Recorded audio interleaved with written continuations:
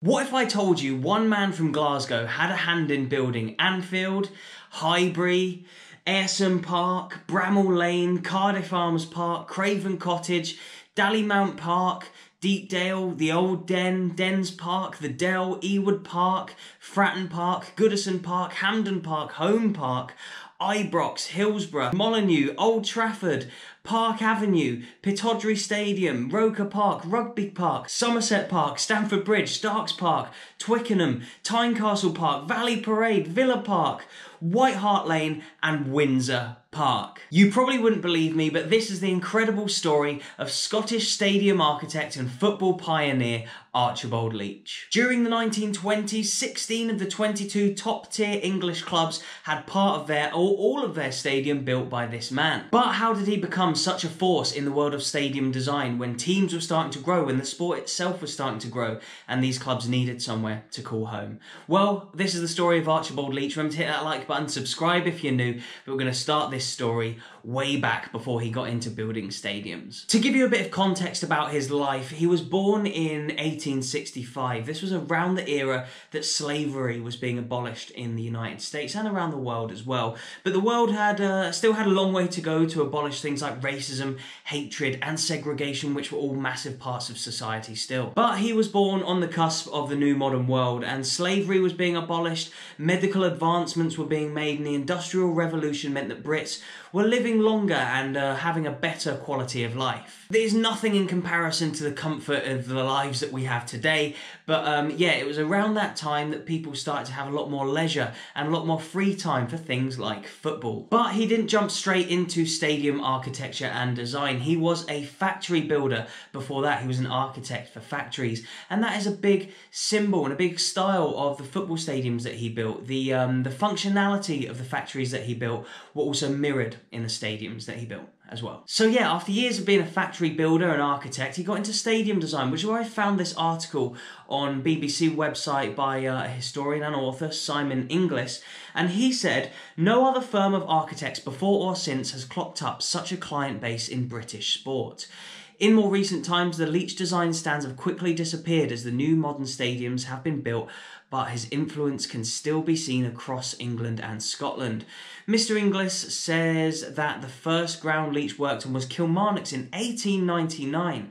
That same year, he was commissioned to design a new stadium for Rangers, the club he had supported. Rangers had been playing in a fairly basic 25,000 capacity timber ground and were keen to expand. They moved to the other side of Ibrox Park and Leitch built a new oval stadium, which by 1902 had a capacity of 80 thousand. Despite having a hand in Killy's ground and the new expansion of Rangers or the new move of Rangers into uh, the site of the Ibrox that we know today, his stadium designing career almost ended before it even began. During the first ever full capacity event at the new Ibrox Stadium in 1902, Scotland faced England, arguably the biggest match in the world at the time. A section of timber terracing gave way and 25 fans lost their lives. Leitch was uh, even there at the game and witnessed the tragedy in the stand he was commissioned to construct. More quotes here from Simon Inglis. So we, we begin. The Ibrox Terrace was built in a way which was common at the time, with wooden flooring on top of an iron frame. Today we would call them bleachers. They were very popular in American baseball stadiums. It transpired that yellow pine was used at Ibrox instead of the superior red pine, and this was blamed for the disaster. Timber merchant Alexander McDougall was the man who carried the can, despite the presiding judge feeling that he was perhaps a scapegoat. There was evidence that Leitch had approved the use of yellow pine in order to get the job done, but McDougall was equally to blame because apparently he billed Rangers for the higher quality pine. So basically, in what should have been an incredible day in Leitch's career, it turned into tragedy quite quickly. Rangers initially approached another architect to rebuild Ibrox when the collapse happened, but shortly after they did actually reinstate Leitch. The tragic stadium disaster of 1902 at Ibrox was obviously devastating and um, would obviously never never, no one involved, no one in the world would ever want it repeating. But it gave Leitch an important lesson in the safety of stadium design. He created a brand new form of strengthened terracing in the Ibrox rebuild. And in the decades that followed, he became Britain's most prominent stadium architect. In some cases, he wasn't just drafted in to build the entire stadiums, but sometimes just singular stands. He was the first man to use maths and science when thinking of building stadiums. The uh, he wasn't just tasked with building big wooden stands as used uh, during the 1800s for cricket and athletics. He calculated the exits needed, the amount of materials needed, how much would have to be ra- how many raised tiers they'd need, and good straight lines for fans, fireproofing materials, and stuff like this. He introduced drainage, the amount of slopes needed on the stand so that everyone could see.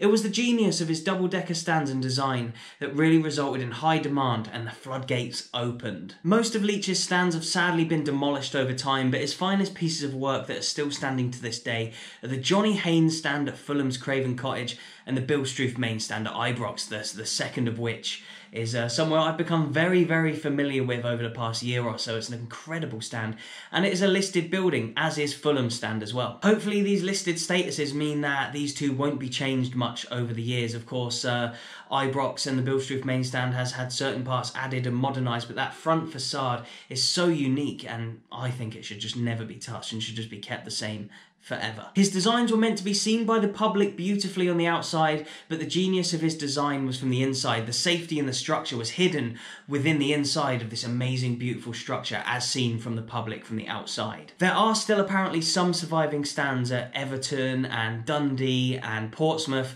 but yeah, over time they're just getting demolished and being built up uh, by newer stands and stuff like that. But yeah, I do hope that a lot of the originals that are still around today can remain. Yes, a lot of these stands and a lot of these stadiums are being ripped down and changed and demolished over time, but the mere fact that I've been to so many of these Archibald Leitch stadiums fills me with immense pride. And it's probably something that a lot of fans who attend these stadiums don't know about. You might be a Liverpool fan, an Everton fan, an Ayr United fan, a Rangers fan, a Middlesbrough fan, a Leicester fan, an Arsenal fan, Fans of all these clubs whose stadiums, past or present, have been built in part by Archibald Leitch. Without that man, you wouldn't have the stadium you have. You wouldn't have that feel of the club. You wouldn't have that fabric of the club. The stadium, the home of your team, is there because of the man that is Archibald Leitch. And yes, while Arsenal have moved, and yes, while, while Leicester have moved, and while Sunderland have moved, he had a hand in some of their stadium design of when they were at their best, of when Sunderland were winning trophies in the 1800s, of Middlesbrough's long history, of Arsenal's Highbury Stadium. He was the man who put the spade in the ground and built these stadiums into what they were, and essentially helped these clubs grow and become the trophy winning legendary clubs that we know today. Yes, his stands are disappearing, but he was working in an era around the late 1800s, early 1900s, where he didn't have the technology, and his stands are only being changed and renovated today as new technological advances are being made. So I wouldn't necessarily say that they're knocking his stuff down and someone else gets all the credit. The credit should firstly go to Archibald Leitch. Anyone who comes along and changes the work that he's done is only doing so through yeah modern technology and and the and the and the knowledge that we have these days around building and around architecture and stuff like that. And yes, as mentioned, I have been to a lot of the Archibald Leitch stadiums, and here is a montage of the stadiums of which Archibald Leitch helped to build. Yes, a lot of them have changed over time, but without him, we wouldn't have these epic stadiums today. Archibald Leitch, thank you so much for everything. You're an absolute legend of the game.